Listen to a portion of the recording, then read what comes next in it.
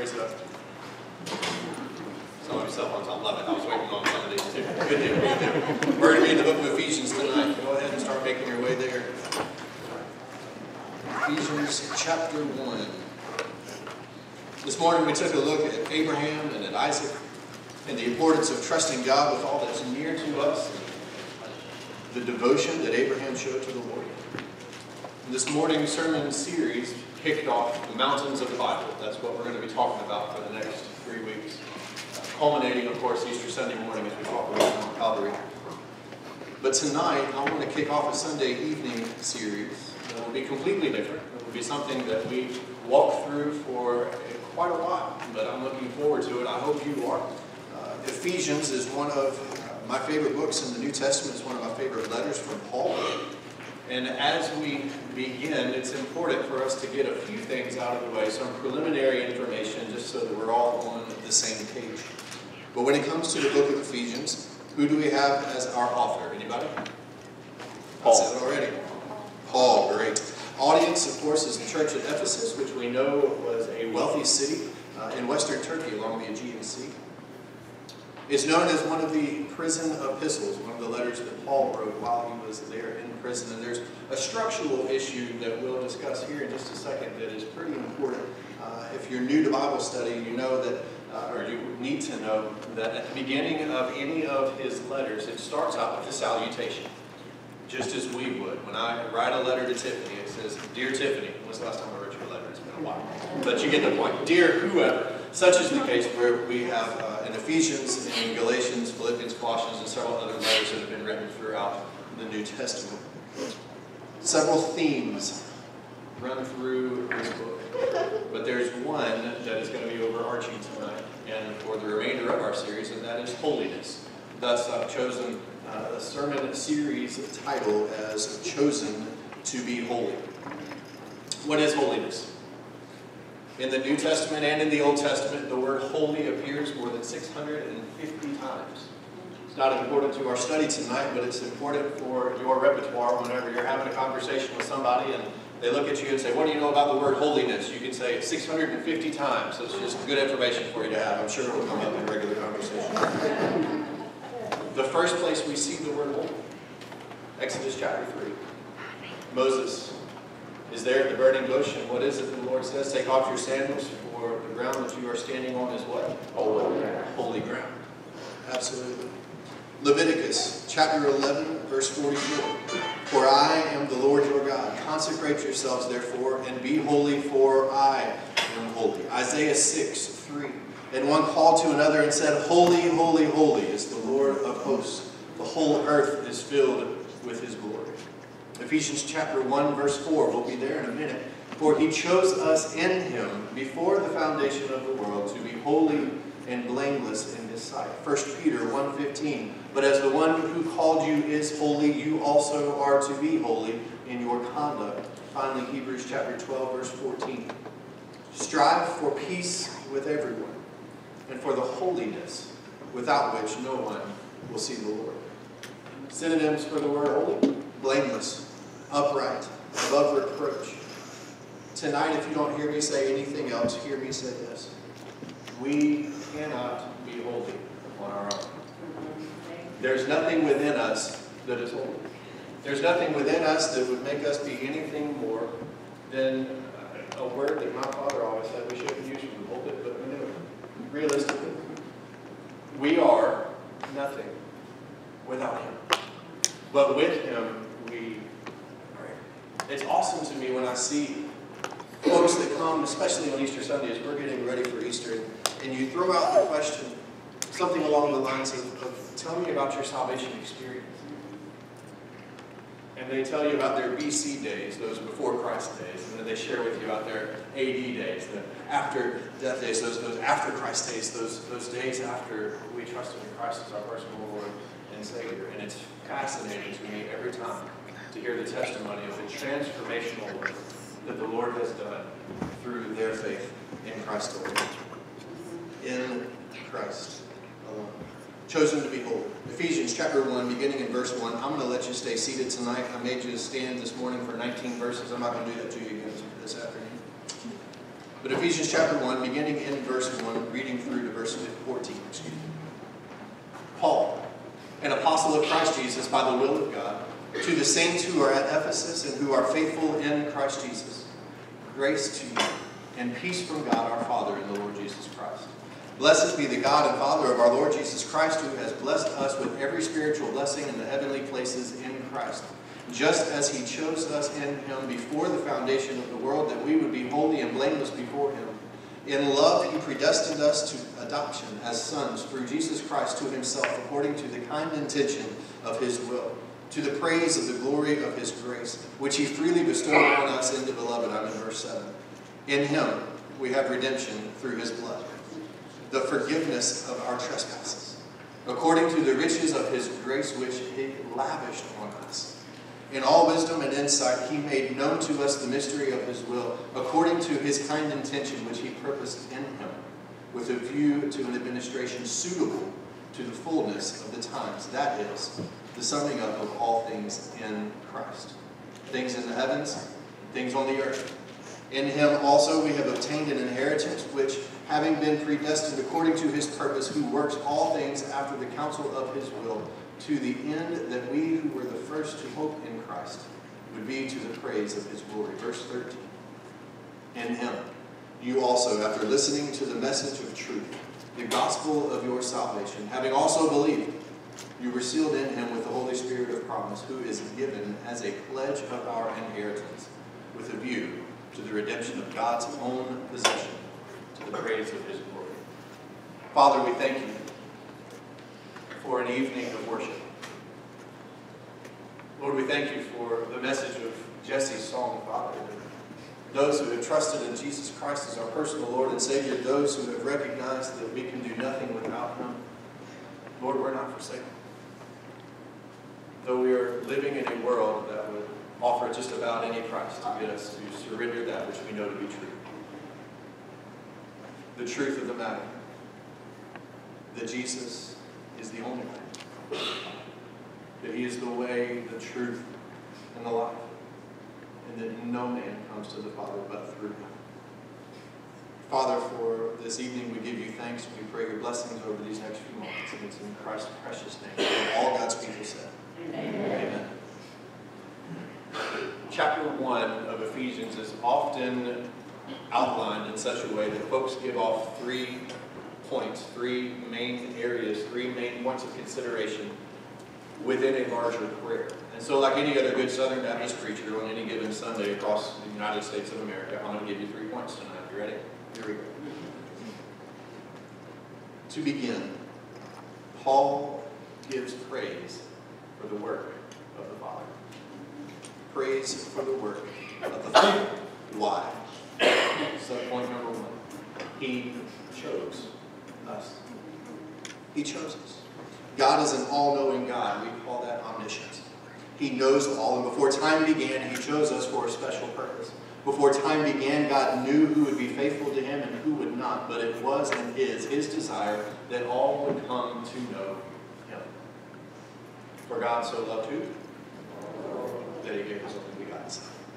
As we discussed before, the world was perfect until Adam and Eve decided to listen to the serpent.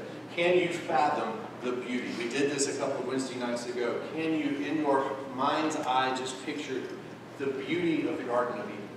Not just the flowers, not just the plants, but the concept of being in perfect communion with God the Father. What a thought. What a thought. Paul says he blessed us and he chose us before the foundation of the world to be holy and blameless before him.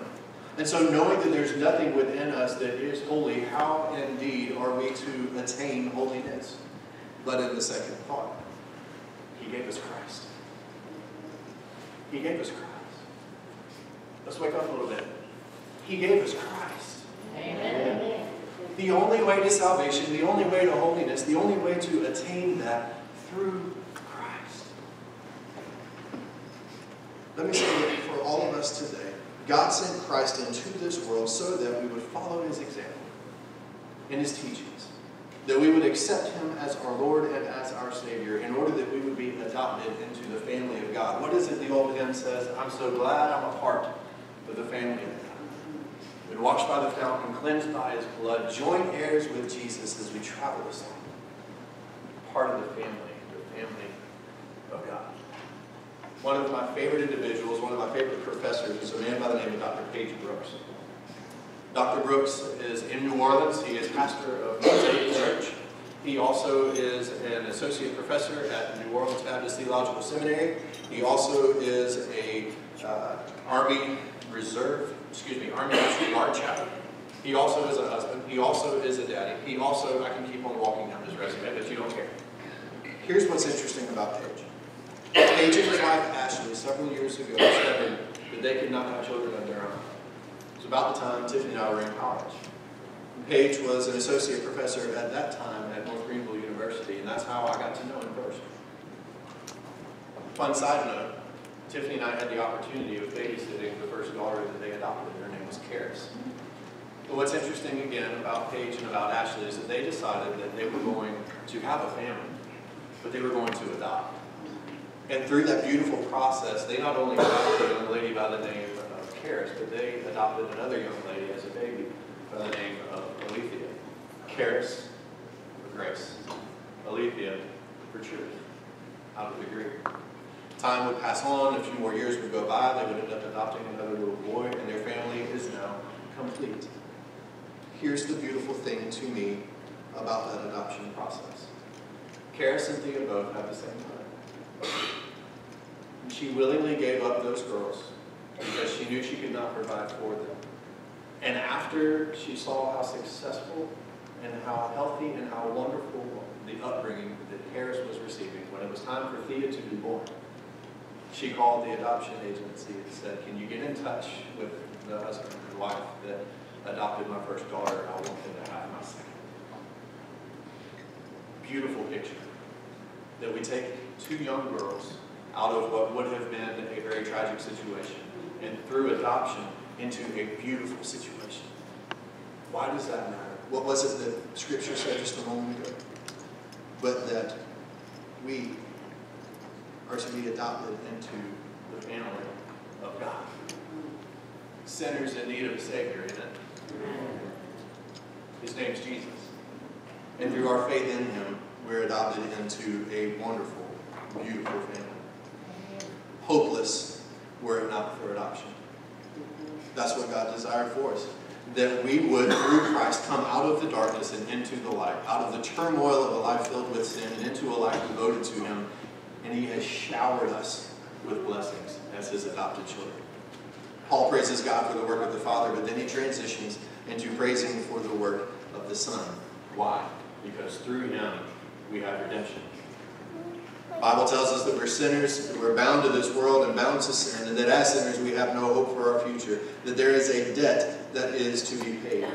All of the sins in our lives, the ones that we committed years ago, the ones that we committed this morning, the ones that we will commit this upcoming week, Jesus took every one of them to that cross. Right? Every one of them. He didn't hold anything back. There's not one sin that you've accomplished, one sin that you've committed, anything that you've done that can separate you from the love that's found in Christ Jesus our Lord. Redemption. Adoption. Fascinating. Life-changing truth. God provided a way for us. A way for rescue, a way of being set free from the bondage of sin. And he provided us a way to be forgiven. Not just set free, but forgiven. Debt paid by Jesus Christ. Why do we celebrate Easter? Is it just the empty tomb? Or is it what was accomplished through that empty tomb? Forgiveness, reconciliation to God. As Americans, we are incredibly adept, incredibly used to, very familiar, whatever phrase you want to use, to the concept of debt. We pay for our cars, we pay for our houses. Sometimes we end up getting in trouble with credit cards and we take years paying those off. We are used to the concept of debt. There's a sin debt that had to be paid, and the one who paid it did so willingly for you and for me. The debt's been forgiven. Can we? As we consider holiness, as we consider the holiness of the Father, as we consider trying to live a life holy and pleasing to the Lord, how can we not celebrate the fact that He, through His sacrifice on the cross, has freed us of a debt that we couldn't pay on our own? He died for us on a hill called Golgotha. Transition takes place again as praise for the Father becomes praise for the work of the Son, and then praise for the work of the Holy Spirit. What is it that Paul said the Holy Spirit was? But a pledge of our inheritance. The Holman Christian Standard re, uh, replaces the word pledge and uses the phrase down payment. Think that through just a minute. The down payment of our inheritance when you and I made the decision to ask Jesus Christ to come into our hearts. When we said, no longer is this life going to be about me, it's got to be about you. I can't do this on my own. I'm bound for sin. I'm bound for hell. I've got to. In that moment, the Holy Spirit came in. And that's just the down payment for the glory that waits for us on the other side of that gates. The down payment. Interesting concept, especially given the thought about death. You know, years ago, a king would seal a letter with a signet ring. He'd drop a little bit of wax on the back of whatever he was sending, and then he would press his ring down, and that was the seal. You knew that it was a letter from the king if you received it because it had his seal on the back of it. We've been sealed for all eternity. And the signet ring is stamped in the blood of Jesus Christ. Signed, sealed, delivered. And we've got nothing but glory waiting for us. Therefore, we should want to live holy and pleasing lives to the Father. When you and I made the decision to accept Christ as our personal Lord and Savior, that stamp was placed there and it will not be removed. The Holy Spirit guides us and prods us throughout life, helping us to make sure that we live a life worthy of God. But listen to this. The New American Standard in verse 14 calls it a pledge, and yet I love, I love, hear me clearly, take this home, write this down wherever you want to. The down payment for the riches of glory is what the Holy Spirit's in both We desire to live lives pleasing to the Father. Verse 15, I didn't read there yet. Pick up with me. We're going to read the end of the chapter. Drew, if you want to go ahead and make your way to the piano, sir. Paul continues and says, For this reason, I too, having heard of the faith in the Lord Jesus, which exists among you, and your love for all the saints, do not cease giving thanks for you, while making mention of you in my prayers, that the God of our Lord Jesus Christ, the Father of glory, may give to you a spirit of wisdom and of revelation in the knowledge of him. I pray that the eyes of your heart may be enlightened so that you will know what is the hope of his calling, what are the riches of the glory of his inheritance in the saints, and what is the surpassing greatness of his power toward us who believe. These are in accordance with the working of the strength of his might, which he brought about in Christ, when he raised him from the dead and seated him at his right hand in the heavenly place. Verse 21, far above all rule and authority and power and dominion, every name not only in this age, but also in the one to come. What did Paul just say? There is no greater name than Jesus. Through whom we have salvation. Pick up verse 22. He put all things in subjection under his feet and gave him as head over all things to the church, which is his body, the fullness of him who fills all in all. A new season has begun. New pastors in place, new leadership in place, but the message is still the same. In Christ alone, our hope is found. The mission is still the same to keep enriching Christ's kingdom. The call is still the same, that as we are growing, that we make disciples of all nations, baptizing them in the name of the Father, the Son, and the Holy Spirit, teaching them all that God has made. But I've asked Drew to come and to play for a few minutes before we enter into our time of invitation. And as he begins, would you bow your heads with me? We've been called to be holy as our Father is holy. And part of holiness is unity of spirit.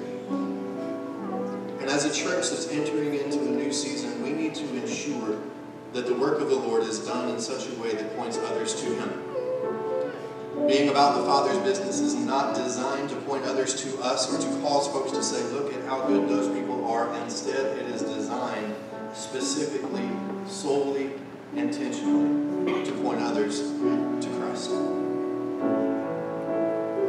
And as he plays a very familiar hymn, I want to ask you to be in prayer.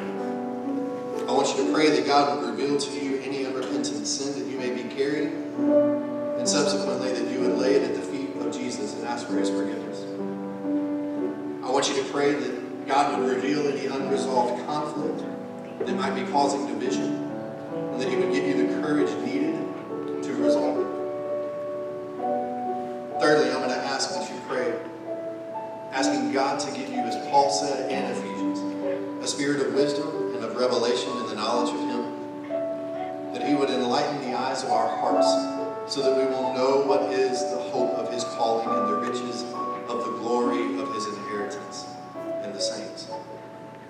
Clear eyes, clear eyes and clear hearts in order that we accomplish the task that He has for us.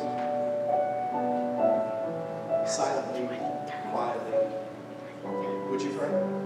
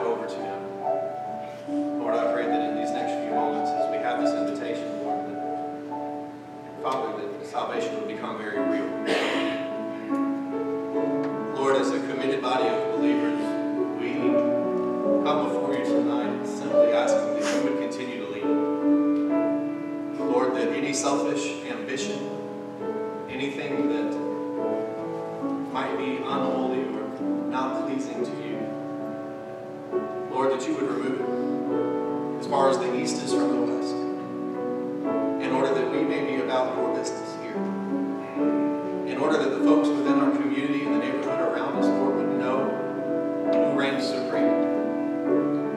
That they would know the hope that we have in the midst of such dark times. That they would know that our hope is built on nothing less than Jesus' blood.